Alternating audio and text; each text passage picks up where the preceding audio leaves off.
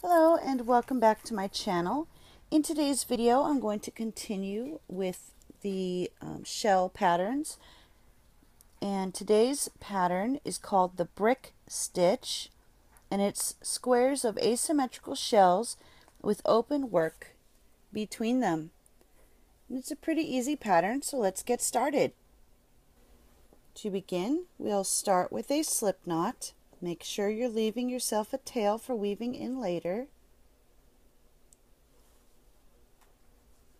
And our chain needs to be a multiple of four. And so I'm going to do 20 chains for my multiple of four for this sample piece. And you're just going to grab your yarn, bring it through, and that gets you your chains. Make sure when you're counting that you do not count the one that is on your hook. So I will meet you at the end of my chain. The end of my chain. Now once you have your multiple of 20, you're going to add 6.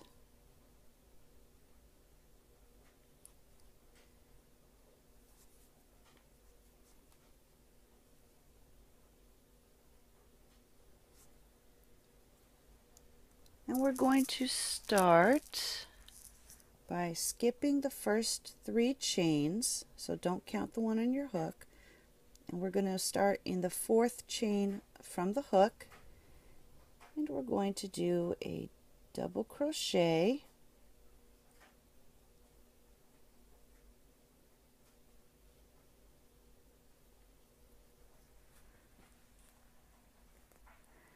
followed by one more double crochet in the next stitch.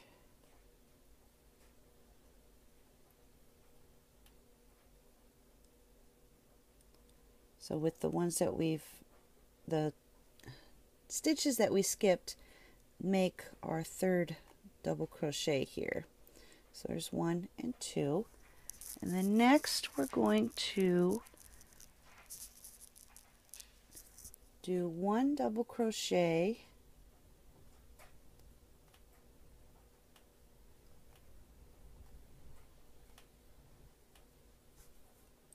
I'm going to chain three and then we're going to do another double crochet right into that same stitch.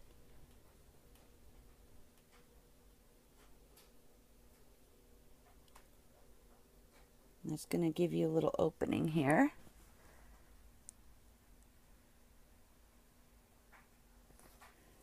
And then we're just going to repeat that all the way across. So we're going to skip one, do our one double crochet, chain three, and then do another double crochet right into that same stitch. And you'll just continue this all the way across your row. So skip one, do one double crochet, chain three, and then do another double crochet into that same stitch.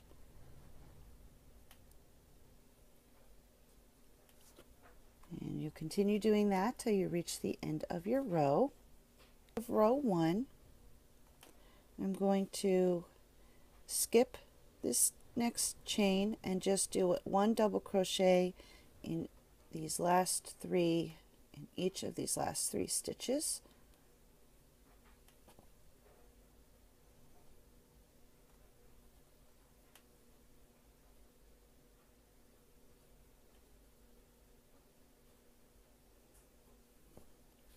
Don't worry if your work is going a little wonky here. It'll straighten up as we as you put on more rows.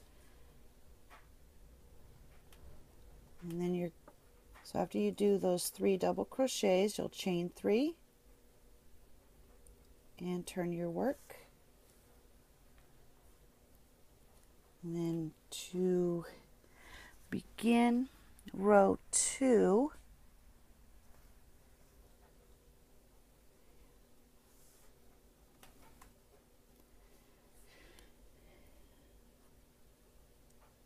So in each of these chain three spaces, you're going to do three double crochet.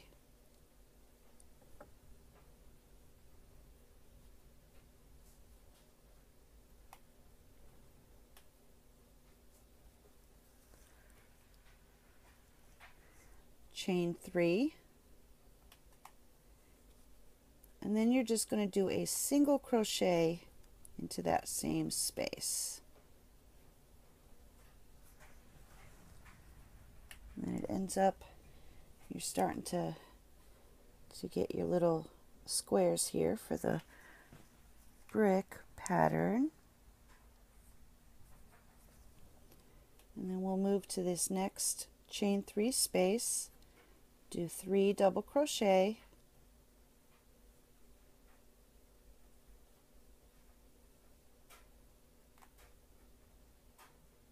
chain three. And then just do one single crochet into that same space. And that is pretty much it. This is row two and this is what you'll be repeating for all of your rows.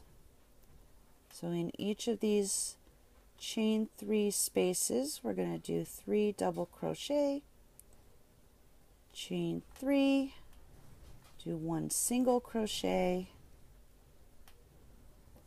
and then move to the next space. And you'll continue doing that until you've reached the end of your row. And here I am at the end of row two. And I just did my last set here, my little cluster here in this chain three space. And I've got these three double crochets and then our turning chain. And you're just going to do one double crochet into that space there between your double crochets and your turning chain. So one double crochet and then you're going to chain three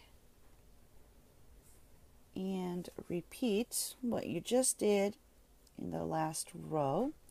So starting here in this first chain three space, we're going to do three double crochet.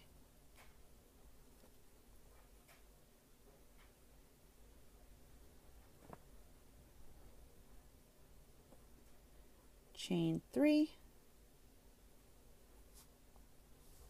and then one single crochet.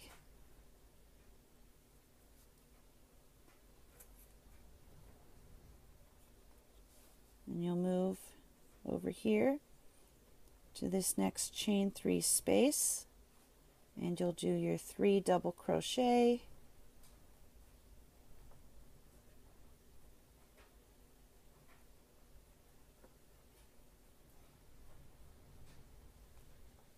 chain three and then do one single crochet to finish off that little cluster there. And that's going to start pulling your work together and straightening up your your edge here. So as you move move down, it's going to start pulling itself in because it's still kind of curling. But the further along you get, uh, the more it's going to tighten up. So we'll come here to this next chain three space and do three double crochet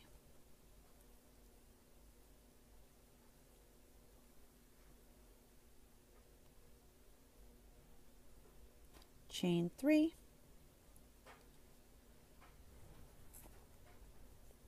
and then one single crochet and you will just continue to repeat that process until you have the number of rows you're looking for. And then when you get down here towards the end of your row, you'll do your little uh, three double crochets, chain three, and your single crochet into this final space, chain three, turn, and continue with the way you've already done these last two rows. So I will go ahead and work up a couple more rows so you can see how it looks.